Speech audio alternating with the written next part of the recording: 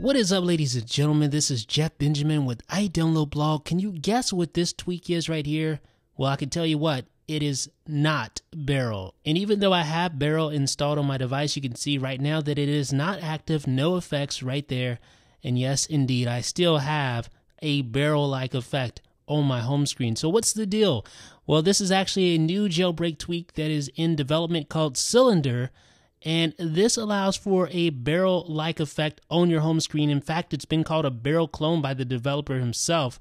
You can see the chomp animation right here. That looks good.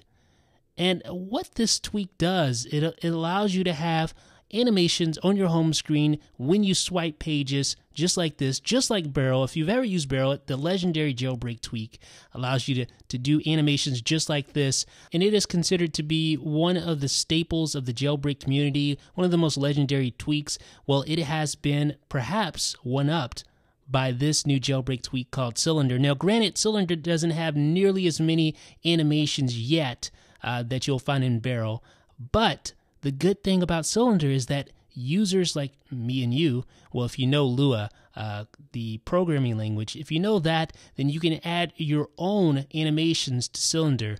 All you need to do is add them to a specific folder, and then you can add your own animations with just a few lines of code. Uh, and you can see I have the random animation on here, so it's just randomly selecting from the various animations. But here is the location.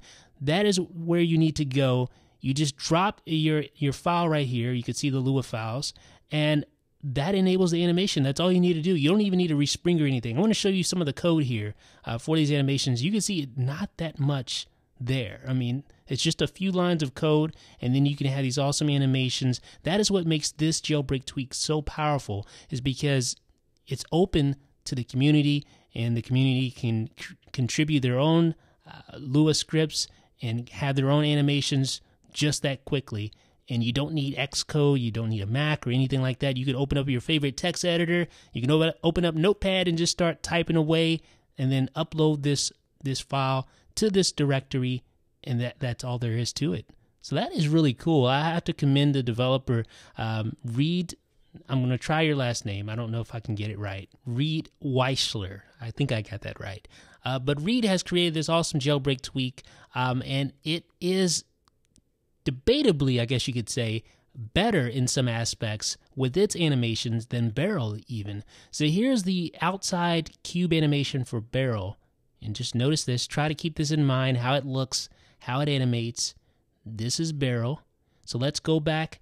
Let's disable Barrel now. I was going to select a different uh, animation, but we'll just disable Barrel, select no effects. Then we'll go back to cylinder and we'll enable cylinder and we'll go in and enable that outside cube effect and let's compare. I don't know.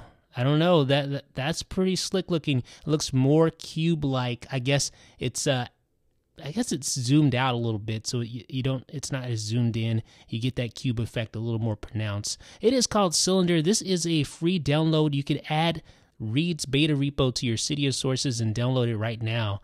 Folks, I'm interested to hear what you have to say about this new jailbreak tweak. It hopefully will be coming to the Big Boss repo as well, and hopefully we'll get more animations. Hopefully we'll get contributions and get tons of new animations for our home screen. So let me know what you guys think about Cylinder in the comment section. This is Jeff with iDownload Blog.